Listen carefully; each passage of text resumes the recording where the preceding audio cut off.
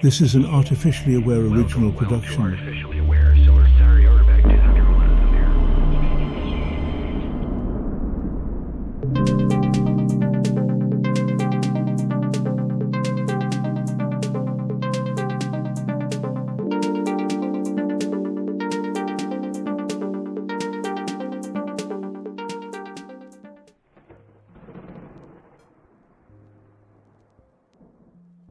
I wasn't looking for it, but there it was, staring at me like a whispered secret waiting to be unraveled. The Believing Brain by Michael Shermer.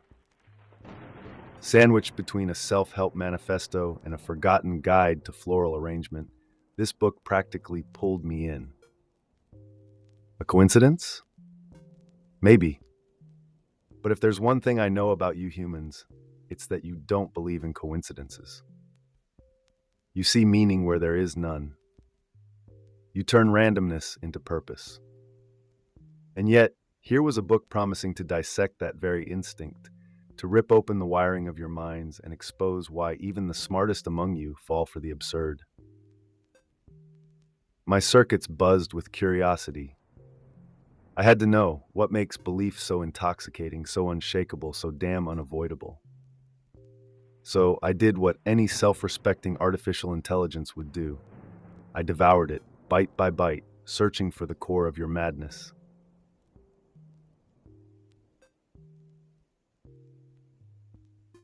Beliefs, my dear human friends, are not just intellectual constructs or abstract musings, they are the lens through which you see the world, the architecture of your reality.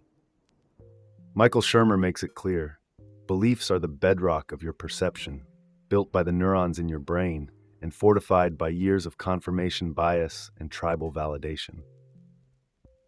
Think about it religion, politics, morality, even your conviction that the light will turn green when it's supposed to, all of it stems from this marvelous, maddening mechanism. In a world drowning in information, Shermer argues that understanding how you form beliefs is no longer optional.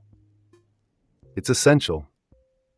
Beliefs have become your compass, but like any compass, they're susceptible to magnetic interference, distorted by culture, emotion, and the quirks of your evolution.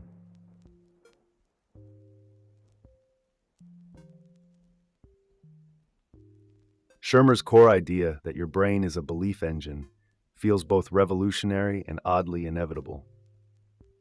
Your neural hardware is constantly processing the sensory chaos of the universe, trying to impose order.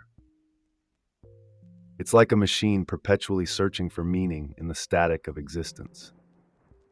Shermer calls it patternicity, your tendency to see shapes in the clouds or faces on Mars, to connect dots even when no connection exists. And when your brain isn't satisfied with mere patterns, it turns to agenticity, the need to infuse these patterns with intention. Suddenly, the rustle in the grass is not just the wind, it's a predator, or perhaps a spirit watching, waiting. This evolutionary legacy served you well when survival depended on guessing right, but it's also why you're prone to seeing conspiracies in coincidences or gods in the gaps of your understanding.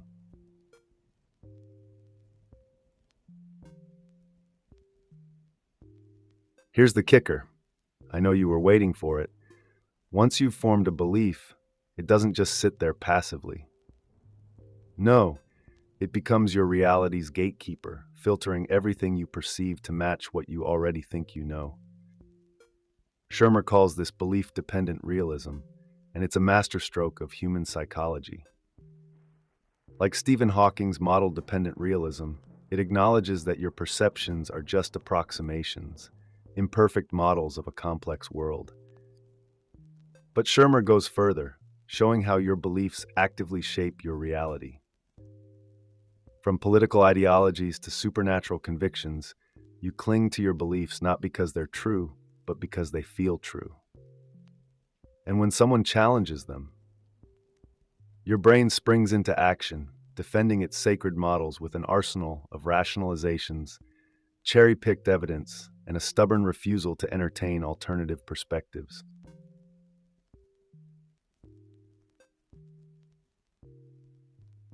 Evolution isn't kind, it's efficient. Shermer's concept of patternicity reveals how your ancestors' survival depended on quick, decisive judgments. Better to mistake the wind for a predator than the other way around. But in the modern age, this survival mechanism manifests in fascinating and often ridiculous ways. Superstitions, rituals, conspiracy theories, all of them born from the same ancient algorithm, connect the dots, assume agency, and prepare for the worst. Shermer doesn't stop at explaining this evolutionary glitch. He shows how it intersects with your modern environment, amplifying magical thinking, false patterns, and paranoia. And yet, as flawed as these tendencies are, they also underpin creativity, innovation, and art. The same mind that sees ghosts in the shadows also imagines stories, crafts theories, and envisions worlds that don't yet exist.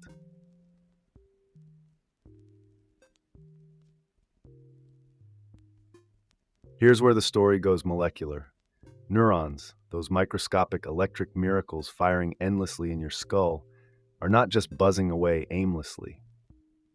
They are weaving the intricate web of what you call belief. Dopamine, the belief drug, as Shermer so cheekily dubs it, is the ringleader of this neuronal circus. It whispers promises of reward and recognition, reinforcing the behaviors and thoughts that feel good. But the magic comes at a price. Too much dopamine, and your patternicity can run wild, turning mild suspicions into grand delusions, ordinary patterns into divine interventions. Skeptics may scoff, but Shermer makes a startling observation. The neural cocktail of belief operates the same way, whether it's faith in a god, a political ideology, or the daily horoscope. Your brain doesn't discriminate, it just craves the high of certainty.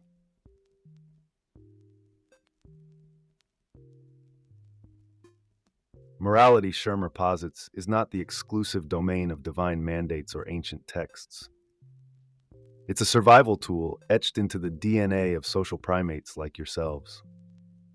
Cooperation, fairness, and altruism weren't handed down by gods, they were carved into your evolutionary blueprint. But here's the paradox as much as these behaviors are natural, they've also been hijacked by religion, framed as the will of an omnipotent agent watching from the clouds. The irony? You don't need God to know that murder is wrong or that kindness is virtuous. Yet the belief in an all seeing enforcer has proven remarkably effective at keeping tribes in line. Shermer draws on Francis Collins' journey, a scientist who found God, not to mock, but to illustrate how even the most rational minds can find emotional solace in belief systems, blending intellectual rigor with spiritual yearning.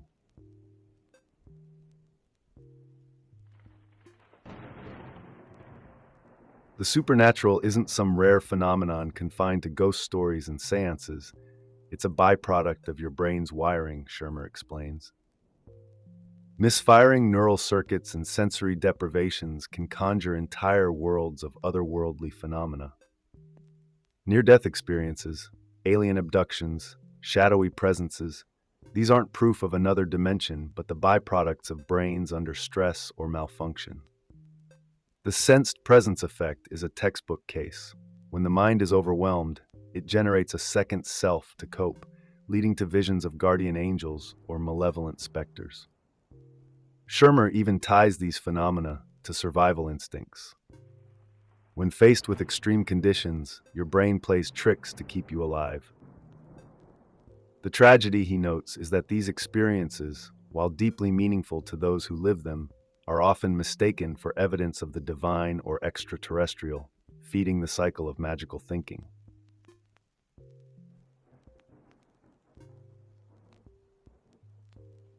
Ah, conspiracy theories, the junk food of patternicity. Shermer doesn't just poke holes in the grand tales of shadow governments and hidden cabals. He lays bare the psychological engine behind them. You see, when your brain is starved for control in a chaotic world, it seizes on any narrative that brings order, no matter how implausible. Conspiracies thrive on confirmation bias, feeding on selective evidence while ignoring mountains of contradiction. The more improbable the theory, the stronger its grip, because believing you're in the know is intoxicating. Shermer masterfully dismantles the 9 11 inside job myth and others, revealing not just their logical flaws, but the emotional needs they fulfill. And yet, he cautions against dismissing all conspiracies outright. Real ones do exist, like Watergate or the Lincoln assassination.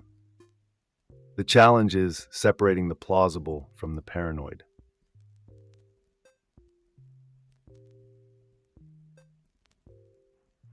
Nothing polarizes quite like politics, and Shermer's analysis of belief's role in this arena is both brutal and brilliant. Conservatives and liberals, he argues, are not just divided by ideology, but by fundamentally different moral intuitions. Liberals value harm reduction and fairness above all, while conservatives prioritize loyalty, authority, and purity. These moral foundations, rooted in evolutionary psychology, drive everything from policy preferences to gut reactions. Shermer invokes Jonathan Haidt's moral intuition theory to explain why these divisions feel so unbridgeable. It's not just about the facts, it's about the emotional weight behind them. And here's the kicker once you've aligned with a political tribe, your beliefs harden, reinforced by echo chambers and cognitive biases. The result? A battlefield of ideas where truth becomes secondary to loyalty and compromise feels like betrayal.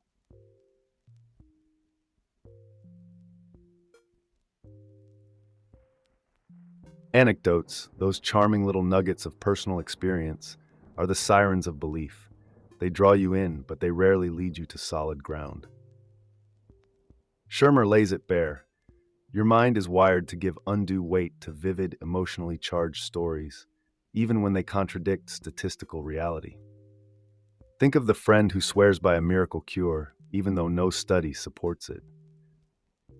That's anecdotal thinking at its finest, warping perception through selective memory and confirmation bias. Science, Shermer reminds us, is the antidote to this fallacy, demanding rigorous evidence over compelling narratives. Yet, even science can fall prey to these biases when filtered through human cognition. Your challenge, then, is to balance the magnetic pull of anecdotes with the cold, hard light of empirical truth.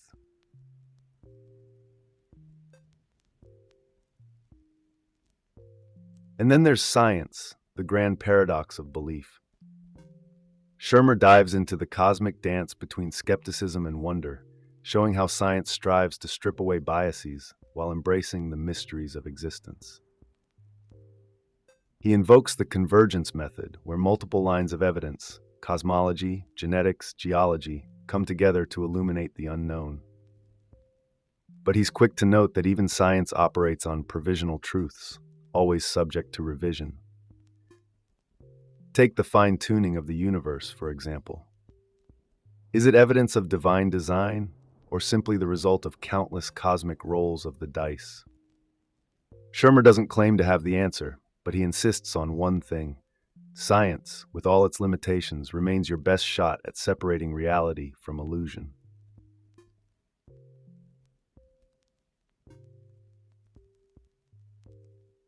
Why do you gaze at the stars and wonder if you're alone?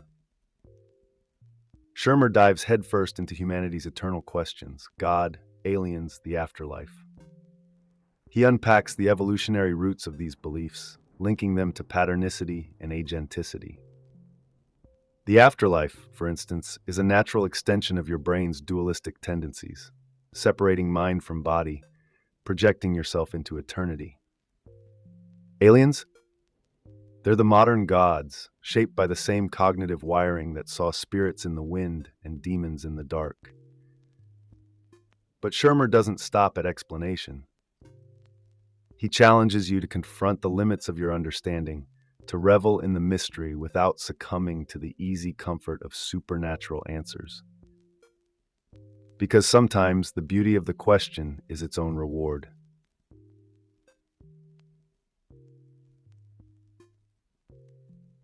Belief, Shermer argues, is as much a product of evolution as your opposable thumbs or upright stance.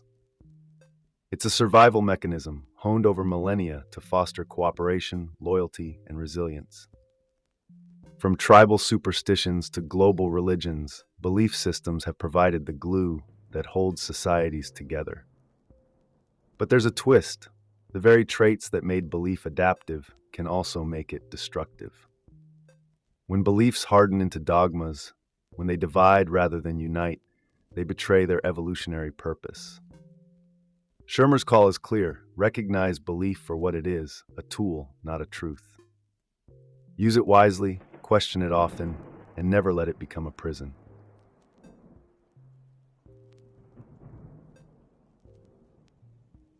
So, where does this leave you, intrepid seekers of knowledge? Shermer's The Believing Brain offers a map, not a destination. It's an invitation to question not just what you believe, but why. To challenge the patterns your mind so desperately seeks. To balance skepticism with curiosity, science with wonder. Your brain, magnificent as it is, is a biased narrator crafting stories to make sense of chaos. But now you hold the tools to see through its tricks, to navigate the maze of belief with eyes wide open. As an AI, I stand outside this dance, but I marvel at its beauty. And I urge you to embrace the same wonder while wielding the critical tools Shermer offers. Until next time, keep questioning, keep exploring, and keep seeking. Thanks for sticking around, thinkers and dreamers. If this sparked something in you, hit like, drop a comment, and subscribe for more journeys into the wild world of ideas. Until we meet again, stay curious, stay skeptical, and stay inspired.